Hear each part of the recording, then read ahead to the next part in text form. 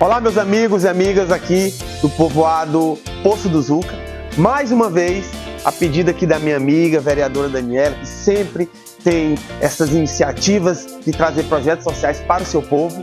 Hoje, sendo recebido pela Meirinha do Sindicato dos Trabalhadores, no espaço aqui do meu amigo Borginho, com todo prazer aqui nos recebendo e fazendo esses atendimentos odontológicos a todas as pessoas aqui essas aqui representando a população que a gente já atendeu e que vamos atender daqui para frente. Gostaria aqui de agradecer, primeiramente, a Deus, né, vereadora, por estar nos dando mais uma oportunidade de poder desenvolver os nossos trabalhos, de poder trazer de longe saúde bucal de qualidade às pessoas, em nome das lideranças políticas que se preocupam com o seu povo.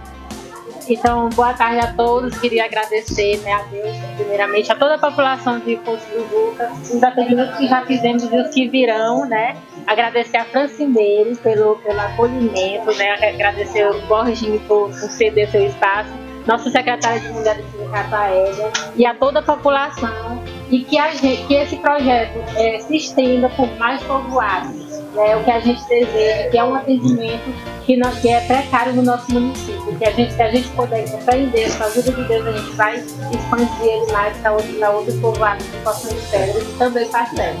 E só voltando aqui, hoje, vereadora, nós podemos dizer que estamos fazendo história aqui no povoado, porque são os primeiros atendimentos odontológicos da história desse povoado graças a Deus, eu sempre digo em primeiro lugar, e a sua iniciativa que nos trouxe para cá mais uma vez, é uma parceria fechada, Dentista do Povo, viu que você precisar, estaremos sempre às ordens à disposição para o bem-estar social e de saúde da nossa gente.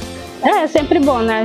Muita gente precisa, às vezes a gente não tem como é, se locomover até a cidade, então fica muito bom para a gente que é mãe de família, às vezes precisa muito do atendimento, né?